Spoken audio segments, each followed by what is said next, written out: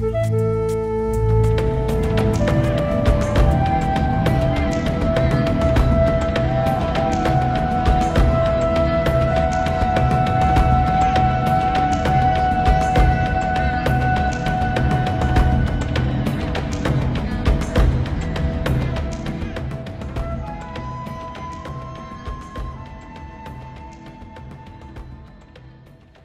hi there, and welcome once again to In Search of Christianity, brought to you by Bible Talk. And, and Alice and I want to welcome you in the name of our Lord and Savior Jesus Christ as we start the next part of our study. As we continue on looking at what effective prayer is based on the teaching of Jesus Christ in the Sermon on the Mount, Yes. which is the definition of true Christianity. Amen. Amen. Amen. We talked last week, we were talking about, we're, we're working our way through the prayer that is commonly known as the Our Father. Mhm. The prayer that was given as a model for the disciples of Jesus Christ. And last week we were talking about, Hallowed be thy name, Yes. thy will be done, right? Mhm. And this week we're going to start by looking at the next expression in that model, which is give us this day our daily bread. But before we do that, I'm going to ask Alice to ask God's blessing on our time together. Hallelujah. Father, we do. We come before you with humble hearts, asking you to guide and direct us, Lord. Let your word come forth and let it touch hearts and lives. Yes, We just thank you, Lord, for your word. We thank you for what you've done for us. And Lord, we love you. Yes. And we just praise you and thank you for all that you are doing. In Jesus' name, amen. Amen. And I do want to remind you, I want to remind you a couple things. I'll take care of a little business here first. The first thing is make notes. Take Yes, notes. Notes are good. All right, so you can you can review what we've talked about, think about it, pray about it, have conversations with the Lord, and check what I say. Amen. I say this all the time. Don't take my word for anything. Test all things and hold fast to that which is good. That's what the Word of God Yes. says. All Be a Berean. Yeah, like a Berean. Yes.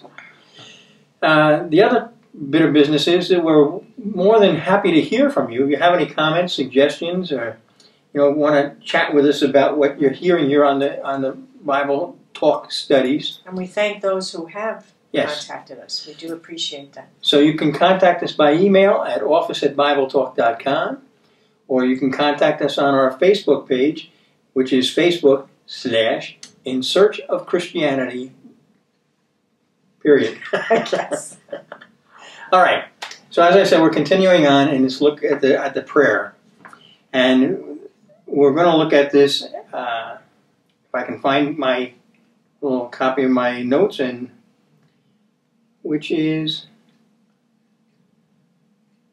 give us this day our daily bread. Right at the top. Right at the top, where it belongs at the moment. I promise you. All right. Give us this day our daily bread.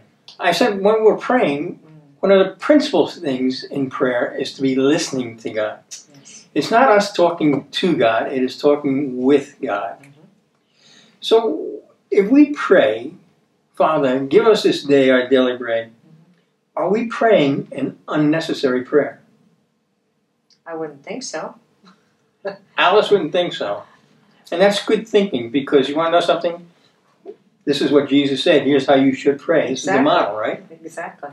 But the reason I ask that is I want you to stop and think because God watches over His word to perform it. And God spoke through the Apostle Paul to say, My God will supply all of your needs according to His riches and glory in Christ Jesus Amen. in Philippians 4.19. Mm-hmm. Food, that's, that's not a want, that's not a desire, that's a need that we have in our lives, right? Yes. And God has promised to meet that need. So why are we praying to ask Him to give us that if He's already promised to do that? Because you've heard me say here a lot of times, we need to be we need to be careful and prayerful about the fact we don't always need to be asking God to do something that He's already done. All right. So what's the deal here? Well, we need new bread every day. Well, uh, remember the manna in Yeah. the wilderness. Yes, you need it every day. One of the things we need to remember is, well, you're not going to say, Nora, here's where I'm going to start. I'm going to read to you from Matthew 4.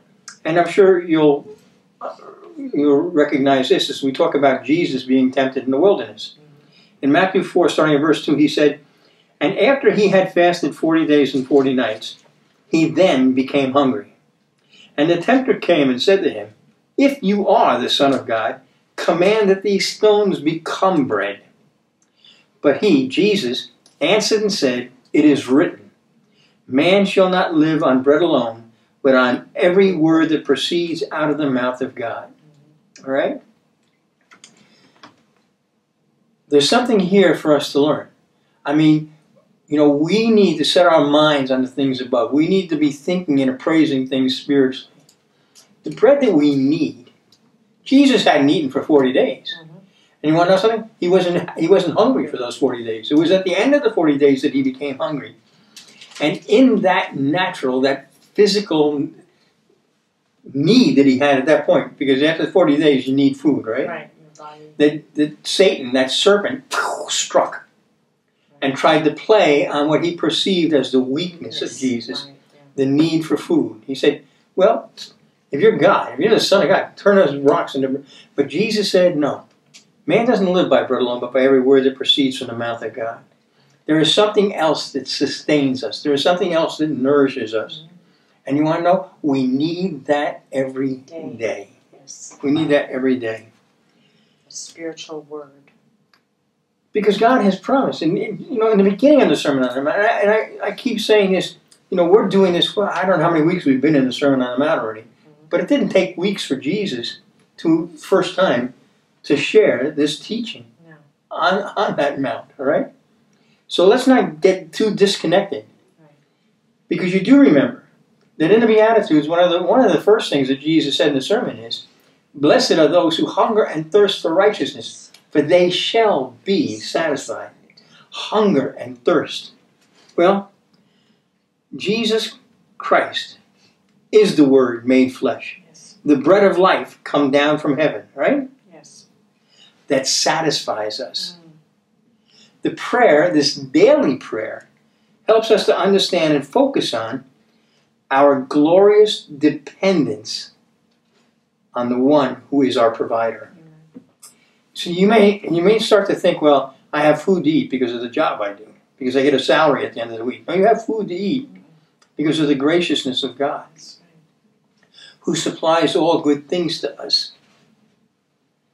We we tend to think that we're taking care of things with our own hands, but we're taking care of things with our trust in the faithfulness of God, our Savior. Right? Because we cannot do anything Without Him. without Him. Oh, it's true. Remember, how, again, let me go back to where this started. The first one of the Beatitudes, Jesus said, Blessed are the poor in spirit. Mhm. We don't have anything that we can call our own.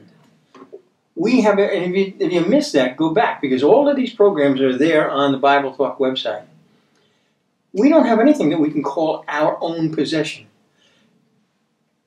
The earth is the Lord's and the fullness thereof. He owns it all. He has entrusted us, He has given us stewardship Mhm. over the work of His hands. But it belongs to Him.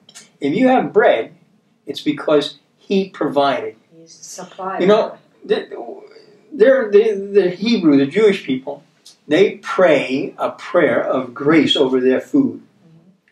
And I'm just give you a little rough translation here. It's, it's uh, Baruch atah Noel. Blessed are thou, Lord God, King of all creation. It's through your goodness that we have this bread. Mm-hmm. All right? It's through God's goodness that we have this. We need to see Him as the author, the supplier of all good things in our life. Mm-hmm. All right? Mm-hmm. So that poorness causes us to appraise things spiritually and trust that regardless of what's going on in our life, regardless of the circumstance, He will indeed meet every need that we have, supply all of our needs. And the most basic one is the food that we need. You know, I was just thinking about it. When every day the give us this day our daily bread every day, but the word that we need every day is different. The, the word that we may need for today that He wants to give us, because He knows what's going on in that day, and then the next day there's a word that we need That's what I was just saying. So you're saying that sometimes it's white bread, sometimes it's rye bread. So, okay, I, Oh, I. Well, it's a living word. yes, right? it is. And that living word is, by the way, Jesus Christ, who is made flesh and dwelt among Amen. us. Amen. But this is how we come to set our minds on the things above and not on the things that are on earth. Right? And the spiritual man is, to, is called to appraise all things, all things spiritually. See, natural people, they don't understand this. They'll, they'll never get it. It says the natural man does not accept the things of the Spirit of God right. because they are spiritually praised, appraised. Spiritual appraisal is required to understand the work of God, the things of God. Right? Manna, manna from heaven, Mhm. right? Think about this in Deuteronomy chapter 10. Deuteronomy 10 12, I'm going to read from. He humbled you and let you be hungry, Mm. and fed you with manna which you did not know, nor did your fathers know, that he might make you understand that man does not live by bread alone, but man lives by everything that proceeds out of the mouth of the Lord.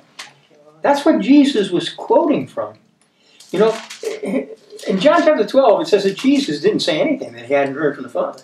Right. He heard it from this word. And when you read these words, you need to understand that you are hearing from the living God. Oh, that's right. You need to understand that you're hearing from Him. And these words are the words of life. These are the words that can build faith, will build faith in your life. Faith that pleases God. Faith that gives you the power to be living in the fullness of life, abundant life that Christ came for you to have.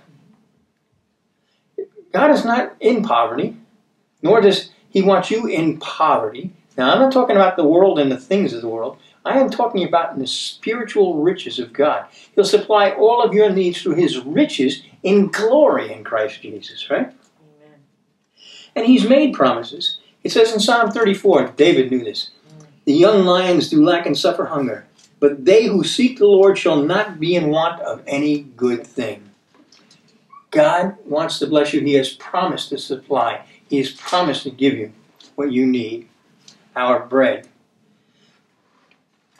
When we focus on our relationship with the Father, we begin to confess His superiority, His holiness, His kingdom, His will, His provision. Our needs are basic. Our needs are basic. It says, if you have food and, shel- and Covering. with these we shall be content, right?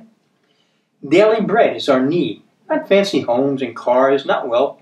We don't need to be focused on material things because we have the assurance of His love for us. We have the assurance of His faithfulness to provide our needs. We only need to focus on the loving Father who supplies those daily needs. We don't need to persuade Him to give them to us. So when we're praying, give us this day our daily bread, it should be bringing us to a place where we're understanding that God is the supplier of everything we need. And you want to know something? Let's get real about this. I'll tell you what you need. And this is what caused so much offense in the early church with the people with the Jews. Go read it in John chapter 6. You can talk about bread, everybody understands the need for food. Mm-hmm. But Jesus said, I am the bread of life. You've got to taste and see that the Lord is good. Otherwise, you will not be nourished. You'll not grow. You'll waste away. You'll waste away spiritually. And by the way, that's all that matters. That's all that matters. You know, it says God has set eternity upon our hearts. Mhm. Everybody out there, saved and unsaved, righteous and unrighteous, saint and sinner, knows somewhere down deep inside there's supposed to be more than this life. These 70 years or so that we have on this planet. I, I was thinking today, and I don't know why, when I was praying early this morning, I was just thinking about, I don't know. I'm, I'm, I was, I'm over 70 now. That's the sell by date, right? That's what, that's what we're getting. I'm past my sell by date. Okay. The simple fact of the matter is, I have an absolute confidence that I will not die one day before my appointed time. That's right. Go read Ecclesiastes chapter 3. Thank you, Lord. And I am convinced that I will live to the fullest up until up until that time that I am called to be with him. I won't go too soon and I won't go too late. God is in control and in charge. That doesn't give me a comfort about dying because you want to know something? I had that all right already. I believe what Paul said, and I want to be like Paul when he said, to live is Christ, to die is gain. This is a better place, a better life, a better place that we're going to. So, you know, there's nothing to fear here. But you have to nourish your spirit. Yes. If you don't, you will start to wither away. Mm-hmm. We serve a God of miracles. He can do whatever it takes. I, I just wanted to share this little story. We were in West Africa a few years ago, a number of years ago. And I had decided when we went over there, and I, I'm just saying, I went over, I decided, we were there for a month, and I decided to fast for that month while we were there. And he said, fast for a month? Oh, I get hungry. No, you want to know something? I never got hungry. And we'd go to these, I was, we were traveling all over the, uh, all over the country of Cameroon, from city to city, village to village, teaching and preaching. And in that African culture, like many cultures outside of the West here, food and a meal shared together is very, very important. So we would go places and we'd sit and we'd have meals with people. And I would sit at that table and I had I had to try and gracefully bow away and say, well, you know, I'm, I'm just not eating. I didn't want to make a big I didn't want to make a deal out of it. You know, it's uh, I don't I don't necessarily want people to know that I'm fasting, but by the same token, Why be rude? I, I don't want to seem like I'm being rude. So that, everybody was fine with that. However, we'd sit at a big table, and I was passing food from one end of the table to the other. I'd pass the food, and as it went under my nose, I would smell it. Take a whiff. Now you might think, well, that will tempt you. to No, you know what it did? It Satisfied. filled me. It satisfied me. I would take a whiff of the food going by, and it was like I just ate it. Mm. It was such a miracle. I mean, we were there for a month. I never, never once had the slightest pang of hunger during that period of time. God was doing something miraculous just to bless me. Because you want to know something? He loves to bless me. And He loves to bless you if you would just let Him. All right. So it is good for us to go back every day and recognize and confess our, our knowledge of the fact that we are dependent on Him and His work in our lives. That we get away from the fact that, no, no, you know what? I supply my food. I supply my daily bread. I go out and I work hard and I say, no, you don't. You don't go out into the workplace to supply your bread. You go out into the workplace to be an ambassador for Christ, bringing the knowledge of His presence into every place that you go. You work for Him. That's your job. That's your job. Mhm. If Christians would only understand this, they would never fear being fired. Because you can't be fired if you're working for the Lord. You're going to be transferred from here to there. He's got it covered. Start to walk in that confidence of God's love for you. All right. Maybe I've been a little hesitant to get into this one because this is one you really need. We're going to go into the next part of this prayer. And I've I have said so many this times is major. This is probably one of the now jesus instructed us to pray this way. And this may be the most dangerous words that come out of your mouth. These words that he taught may be the most dangerous there are. And forgive us our debts our trespasses as we forgive those who trespass against us. Do you really want to pray that? Well, God forgives. Yes, He does. His love is unconditional. Salvation is the free gift of God, not of works, lest any man should boast. But these are the words of Jesus Christ that you better pay attention to. If you don't forgive somebody over there, God will not forgive you. And Jesus is saying, I want you to be in agreement with that. I want the words to come out of your mouth and say, Father, forgive us as we forgive others. Would I be wrong to paraphrase it this way? Don't forgive me any better than I forgive that other person? Is that not dangerous? It is if you're not operating in the love of God. Think about the love of God. In Psalm 86, verse 5, it says, For you, Lord, are good and ready to forgive, and abundant in loving kindness to all who call upon you. And Jesus on the cross, in the most horrific circumstances that you can even conceive of, when he said, Father, forgive them, for they do not know what they are doing. And then Stephen, here's the example. You can say, well, that was Jesus. Well, you know what? That was also Stephen, Yeah. a man who the church had called just to be a, a waiter on tables. But God had a better plan. If you're willing to serve, I promise you, God has a better plan. It says in Acts chapter 7, verses 59 and 60, when Stephen was being stoned to death for proclaiming the truth, it says they went on stoning Stephen as he called out to the Lord and said, Lord Jesus, receive my spirit. Then, falling on his knees, he cried out with a loud voice, Lord, do not hold this sin against them. Having said this, he fell asleep. What a powerful prayer. What a powerful. You know how powerful that prayer was? Well, because that is the proclamation of the love of God. That is the, the invitation of Jesus on the cross. There was a, another young man who was there who was in so much agreement to the stoning, the execution of Stephen, that he was holding people's coats so they could throw the stones ever harder. His name was Saul, Saul of Tarsus. And he heard Stephen pray this prayer. Yes, he did. And I promise you, that was a seed that was planted mm-hmm. that bore fruit on a road to Damascus years later when Paul encountered the living, the risen, risen Savior, Yes. Jesus Christ. Hallelujah.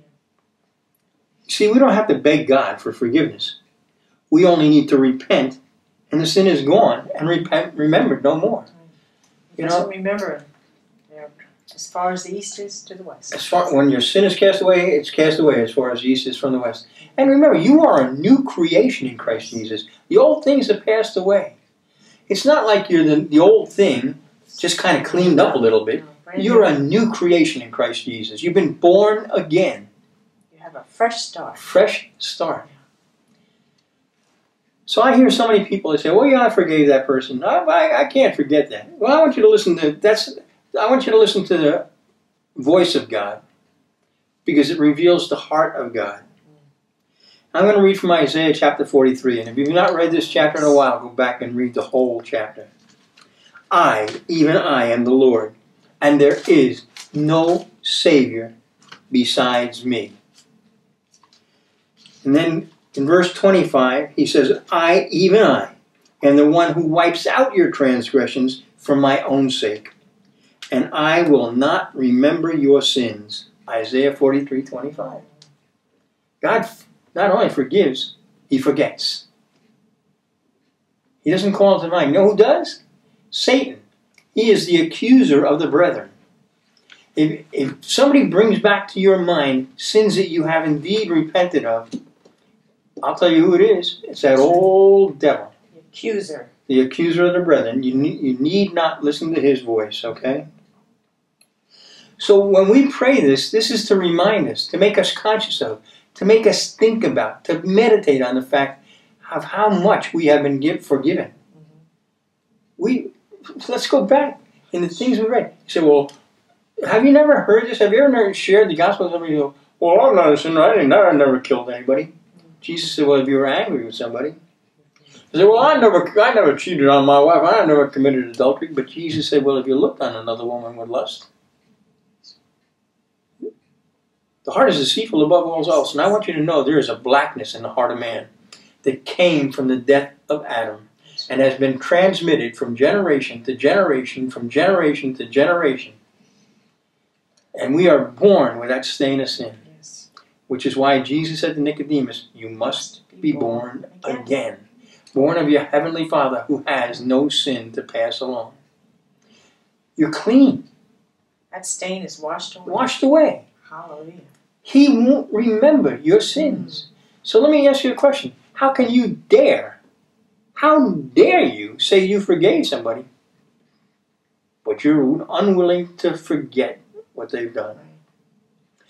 Or you say, well, you don't understand, that's hard. I know how hard it is. You think I've not had to experience this? Of course, we all have. We all have Every to. single one of us.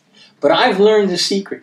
I've learned the key to being able to forget the transgression. When you when somebody has sinned against you and you choose, and it is a choice, to forgive them. The only way you will ever be, come to the place where that will never come to your mind anymore when you see them is to diligently start praying for them. Amen. Do good for them.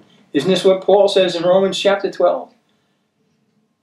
Isn't it? He says, you know, if your enemy if your enemy does you evil, you you're supposed to do him good.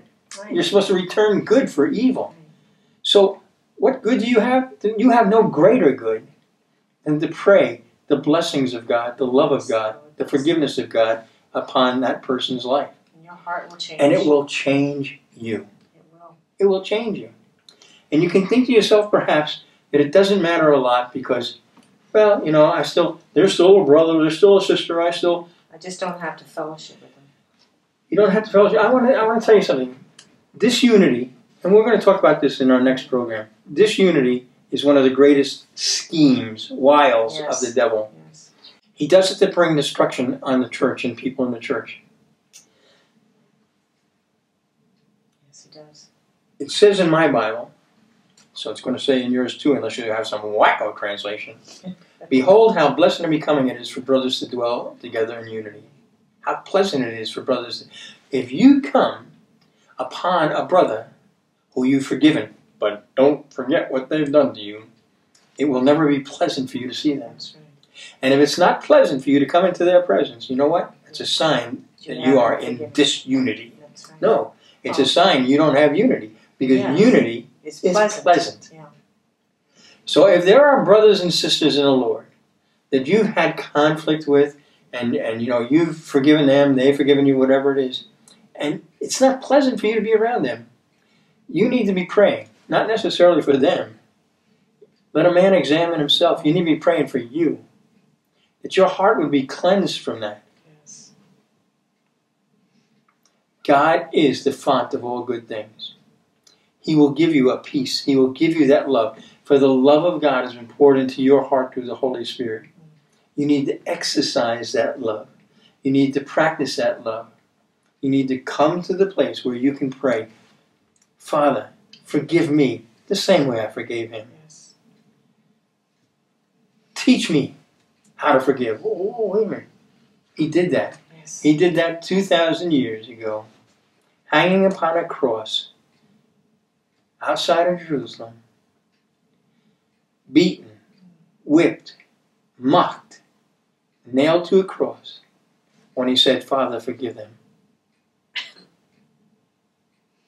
I promise you that if you accepted that great gift of God, He has never once since reminded you of a sin that He had forgiven. It's gone. Oh, what a great love. Oh, what a great love. Please, don't pray this prayer without thinking about this prayer. Don't pray about your daily bread without realizing that He gives it and provides it. Don't pray that we forgive like unless you're prepared to do that. But the love of God has been poured into your heart, and Father, we thank you for that. The Lord, you never call us to do anything that you don't equip us to do. So we thank you for your Holy Spirit, the truth, the Spirit of truth that indwells us, Lord God, that empowers us, empowers us to love beyond and give forgiveness as we have been forgiven. Help us, Lord, to understand that you are the supplier of all we need. Amen. Well, till next time, God bless you and goodbye. Let God use you for the glory of his name. So